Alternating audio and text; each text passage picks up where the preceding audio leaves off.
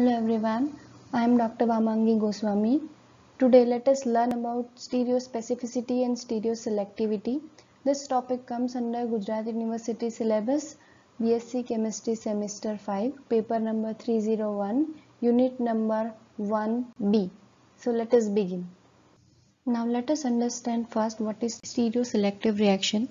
The reaction in which only one stereoisomer of product is formed preferentially although there is possibility of more than one stereoisomer is called stereoselective reaction.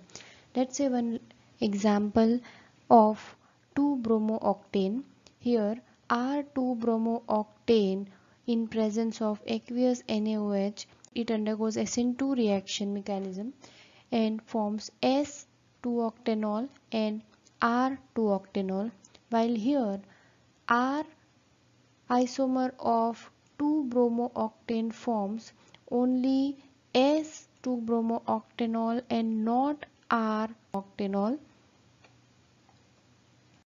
The type of product obtained depends upon which stereoisomer of reactant has been used. So R isomer forms S product while here S isomer forms R product.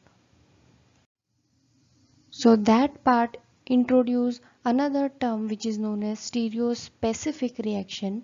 Here the reaction in which any one stereoisomer of the reactant produces only one stereoisomer of the product and another stereoisomer of the same reactant produces another stereoisomer of the same product is known as stereospecific reaction. So thus SN2 reactions is not only stereoselective but it is stereospecific as well.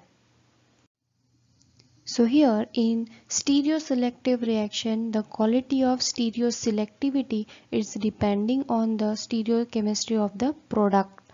So here R forms out of this 2 forms only S2-octanol while S form out of this two only forms R2-octanol. So here this reaction is stereoselective and stereospecific as well because in stereospecific reaction the quality of stereospecificity is depending on stereochemistry of the reactant. So that is why if we take R form that will give only S form of 2-octanol while if we take S form that will only give us R product. Now let us take an another example of cis-2-butene and trans-2-butene.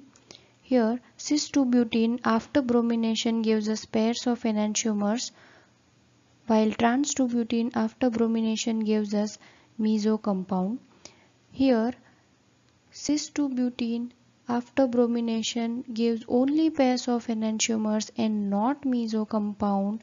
That is why this reaction is stereoselective reaction while trans-2-butene gives us only meso compound and not pairs of enantiomers that it, it is also stereoselective reaction Again, these reactions are stereospecific as well because if we take cis-2-butene then only we can get pairs of enantiomer and if we take trans-2-butene then only we can get meso compound. So this is the classic example for stereoselectivity as well as stereospecificity.